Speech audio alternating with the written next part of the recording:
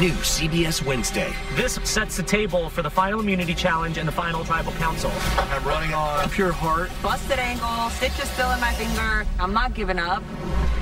Survivor season finale Wednesday on CBS.